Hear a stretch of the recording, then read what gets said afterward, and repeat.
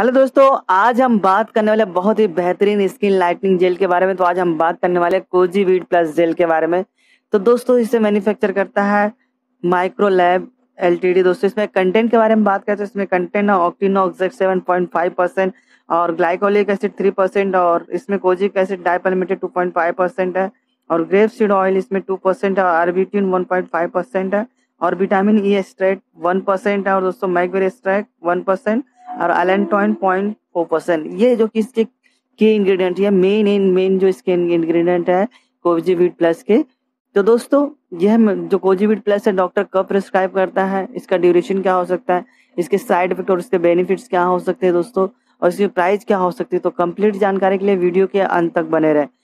और दोस्तों मेडिसिन की जानकारी आप हिंदी में रखना चाहते हैं तो चैनल को सब्सक्राइब करें और बेल आइकन दबाना ना भूलें, ताकि जो नेक्स्ट वीडियो का नोटिफिकेशन आपको आसानी से मिलता रहे।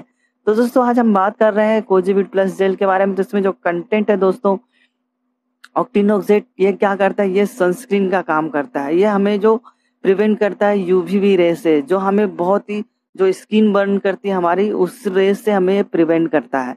और दोस्तों, इसमें जो विटामिन ई एक्सट्रैक्ट है, इसका में जो इसमें विटामिन ई e है, उससे क्या है? ये एंटीऑक्सीडेंट ये हमें प्रिवेंट करता है रिंकल से, और साथ में प्रिवेंट करता है यूवी डैमेज से। जो सन्स की किरणें रहती है, हमारे जो स्किन के टेक्सचर को जो खराब करती हैं उससे से प्रिवेंट करता है। और दोस्तों, इसमें जो कोजिक एसिड है, उसका मेन काम है कि वह स्किन लाइटनिंग का, स्किन लाइटनिंग करता है हमारे स्किन को।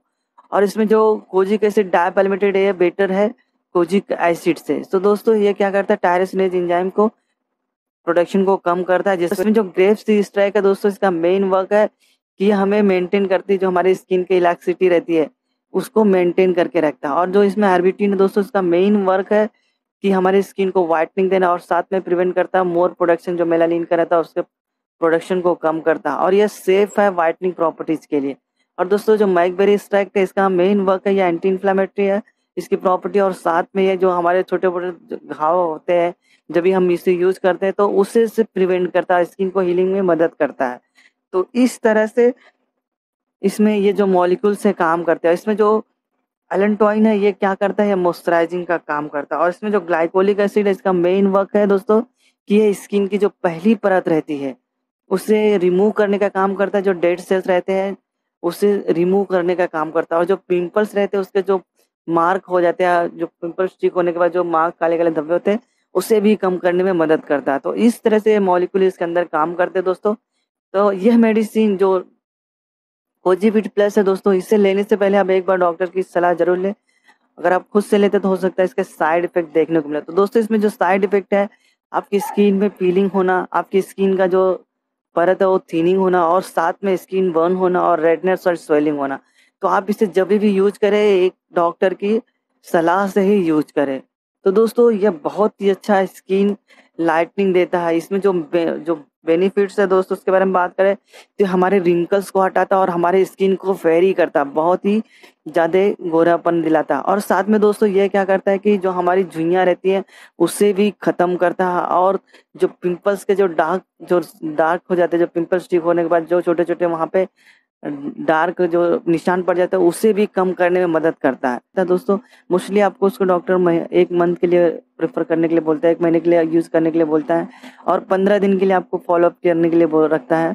तो दोस्तों, आप यूज़ करते हैं तो आप इसे नाइट में ही ज़्यादा इस्तेमाल करें, और जब भी आप बाहर निकले तो आप छतरी का ज़रूर इस्तेमाल करें, या हाई जो जिसका एस पी एफ़ ज़्यादा हो, फिफ्टी प्लस हो, या उससे कम हो, जेल बेस तो उससे आप यूज़ करें सनस्क्रीन को।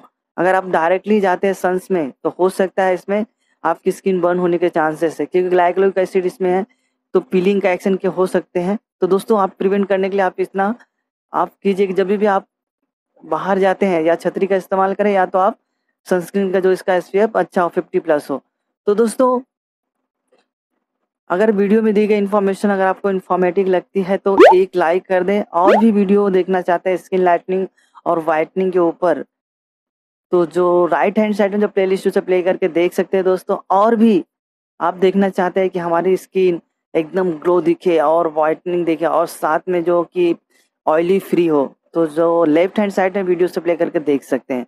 तो दोस्तों, फिर मिलते हैं नेक्स्ट वीडियो में। तब तक के लिए अपना ख्याल रखें। अगर वीडियो अच्छी लगे तो लाइक करें और भी आप मेडिसिन के बारे में फर्दर जानकारी रखना चाहते हो तो चैनल को सब्सक्राइब करें।